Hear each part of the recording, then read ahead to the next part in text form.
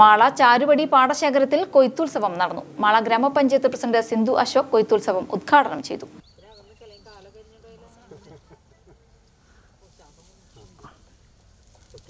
അരിഞ്ഞോ എല്ലാവരും അരിഞ്ഞോ?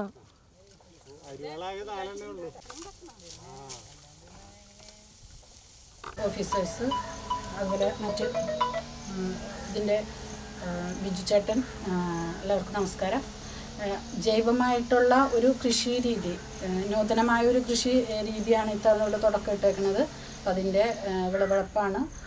അതിന് അതിന്റെ എല്ലാവിധ കാര്യങ്ങളും വിശദീകരിച്ച് ബിജു പറഞ്ഞു തന്നിട്ടുണ്ടായിരുന്നു.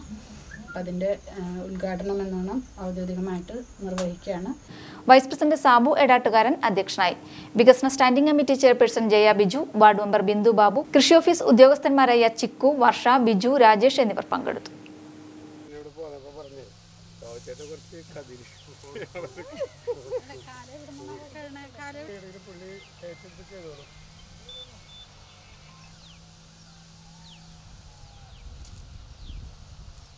ഞങ്ങളുടെ സെറാ സ്റ്റൈൽ ഗാലറിയിൽ സകുടുംബം ഷോപ്പിംഗ് അനുഭൂതി ആസ്വദിക്കാൻ നിങ്ങളെ സ്നേഹപൂർവം സ്വാഗതം ചെയ്യുന്നു.